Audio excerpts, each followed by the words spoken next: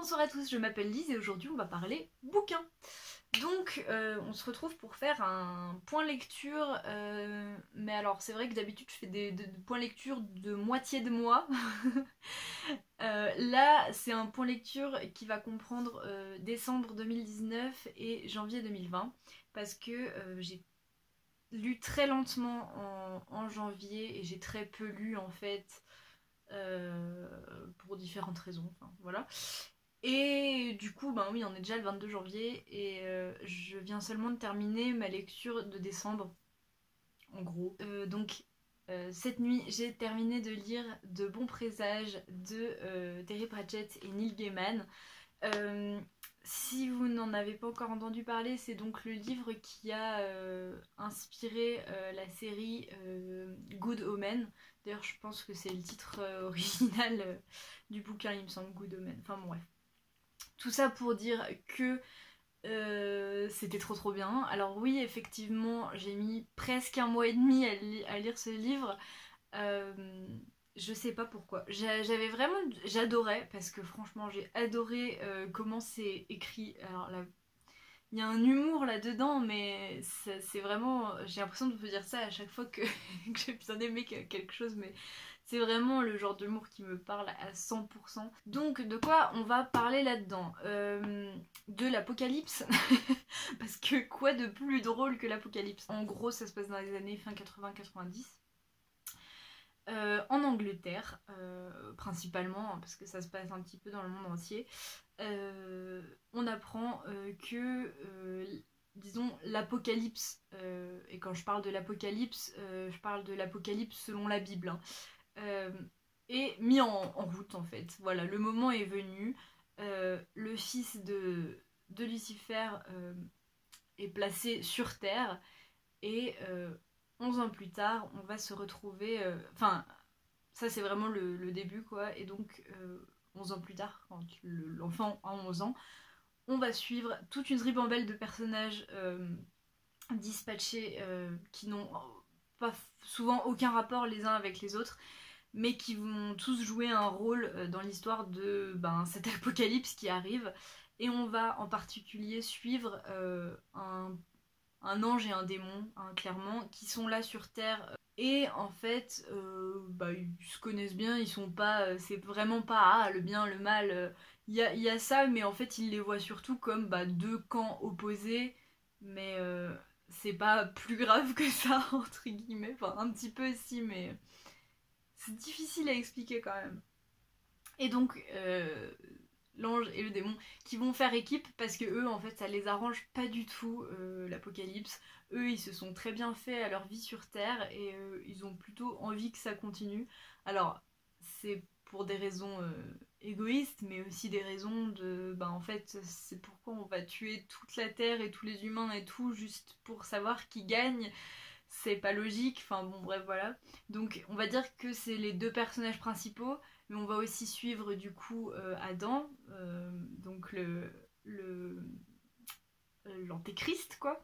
Euh, on va et plein d'autres personnages, euh, quelqu'un qui a en main des prophéties,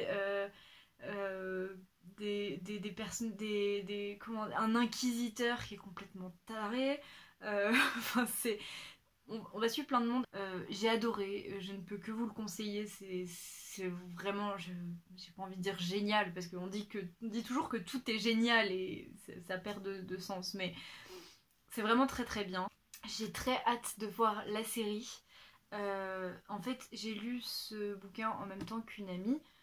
Euh, parce qu'on voulait faire une lecture commune et elle, elle a vu la série avant et elle m'a dit qu'en fait le bouquin était exactement pareil et qu'elle avait beaucoup aimé. Donc euh, j'espère ne pas être déçue par la série et je pense qu'a priori ça devrait aller. Peut-être que je vous ferai une vidéo un peu semblable à celle que j'avais fait à Doctor Sleep quand j'aurai vu la série. On verra, je sais pas encore. Maintenant, il faut que je vous parle de pourquoi j'ai mis autant de temps à lire ce livre, en plus du fait que, ben, que juste, je pense que c'est un. N'importe quand je l'aurais lu, ça aurait été un livre que j'aurais lu assez lentement. Mais il y a aussi autre chose, c'est que comme je vous l'ai dit, c'était une lecture commune et euh, avec une amie à moi qui lit euh, ben, beaucoup plus lentement que moi en temps normal, on va dire. Et du coup, bah, comme on voulait lire à peu près en même temps, même si on, s'attendait pas, j'allais dire à chaque fin de chapitre, mais il n'y a même pas de chapitre dans ce livre, donc euh, voilà, on s'attendait pas aux pages ou quoi, c'est juste qu'on voulait le lire à peu près en même temps. Euh, ben, euh, on, s'est dit que j'allais lire autre chose en même temps. Du coup, j'avais commencé à lire les nouvelles de London Calling. Donc, je vous avais expliqué ce que c'était ben, quand je l'ai acheté en fait dans mon dernier haul. Euh, ben j'ai pas, tellement accroché en fait. Voilà, je me suis arrêtée même pas à la moitié. J'ai lu, euh, je sais pas, peut-être 5 nouvelles. Euh, je saurais pas trop comment vous expliquer. Peut-être que je m'attendais totalement à autre chose, mais je trouve que c'est peut-être parce que je suis pas trop habituée au format de nouvelles et surtout à des nouvelles aussi courtes, parce que c'est vraiment des nouvelles très très courtes. Euh, oui, forcément, vous allez me dire c'est des nouvelles, mais euh, enfin, des, histoires, voilà. Mais comment vous dire euh, c'est possible de faire des nouvelles plus longues, quoi. et là, c'est vraiment très court, et donc j'ai trouvé que les ambiances, les personnages de chaque histoire faisaient vraiment très faux. faisait vraiment très euh, oui on, va mettre ça parce que ça va faire rock ça va faire noir ça va faire punk mais ça, ça fait faux en fait ça fait ça fait pas du tout euh, j'ai pas du tout réussi à me plonger dedans parce que ouais j'ai vu ça un peu comme du rafistolage un peu donc euh, bon j'ai décidé de, tout bêtement arrêter hein, parce que au bout d'un moment limite je me disais bon allez aujourd'hui je lis au moins une nouvelle t'es là bah non mais elle ne lit pas en fait si ça te fait pas plaisir donc voilà, euh, j'arrête. Euh, je vais mettre ce livre avec ceux dont je me débarrasse en fait, parce que j'ai pas spécialement envie de le garder dans ma bibliothèque. On est le 24 janvier et je viens de terminer Alice au Pays des Merveilles.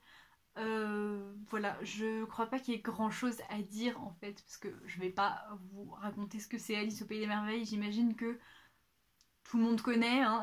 Moi j'ai la magnifique édition illustré par Benjamin Lacombe. Alors je vais vous montrer euh, au moins une illustration pour que vous fassiez une idée. Voilà, alors il y a des pages comme ça parfois qui se déplient. Regardez, je trouve ça mais tellement magnifique. Voilà, bon, par contre c'est...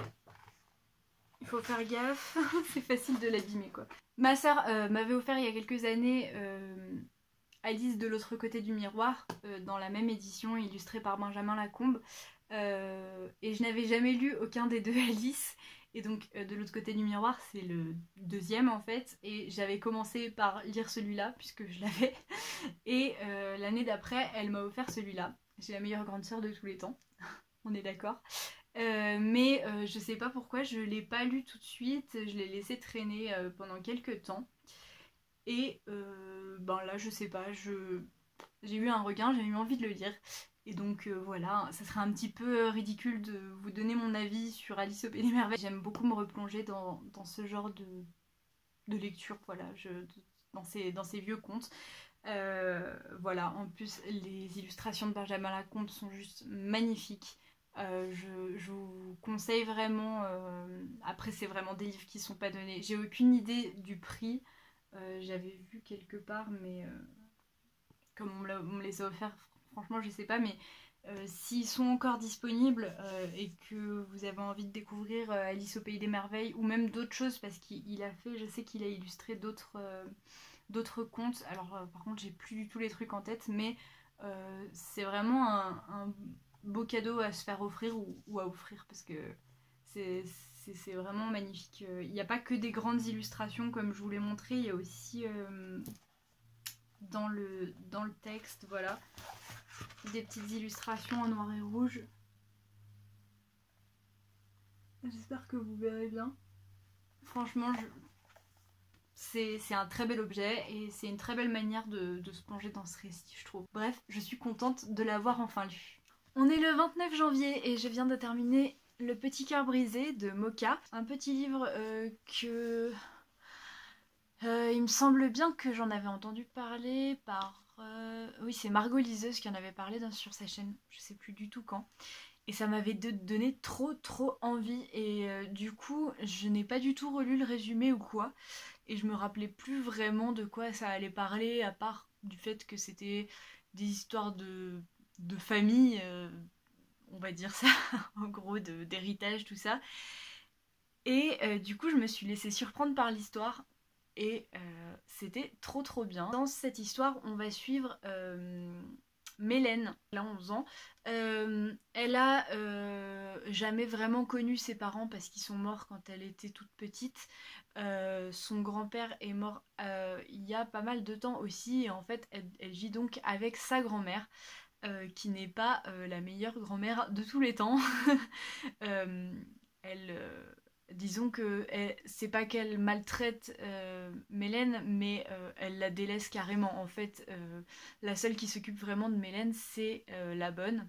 au début du roman, la grand-mère de Mélène va mourir.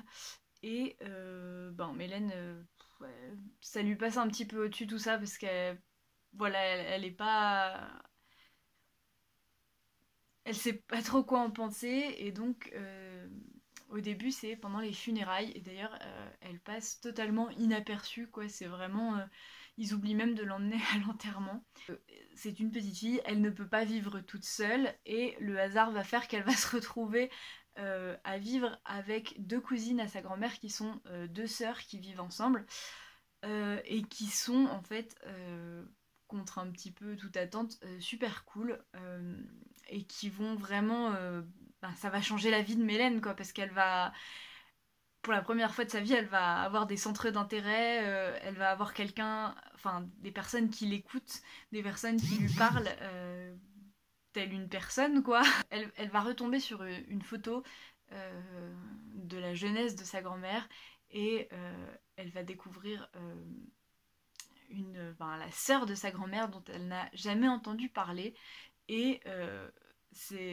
des mystères, euh, disons, vont se former autour de sa famille et autour euh, ben, de son héritage, parce qu'elle va apprendre aussi que euh, il y a un manoir qui, fait partie de son héritage dont personne n'avait entendu parler.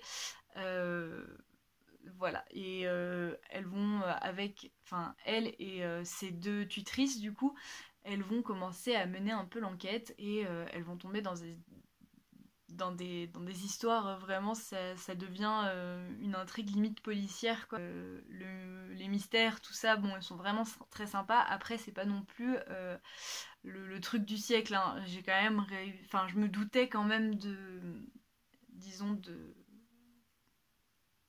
De la, de la réponse, on va dire, assez tôt dans l'histoire, mais ça m'a pas du tout gâché l'histoire parce que, disons qu'il y a deux, deux mystères en fait, enfin deux, deux enquêtes un petit peu.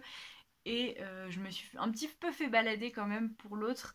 Euh, et puis ça part dans des trucs, euh, dans, des scènes auxquelles on, s'attend vraiment pas, je trouve. Surtout la fin. En fait, je me doutais de, disons, de, des réponses aux questions, mais je pensais pas du tout que ça allait tourner comme ça. C'est vraiment. ça m'a pris de surprise, quoi.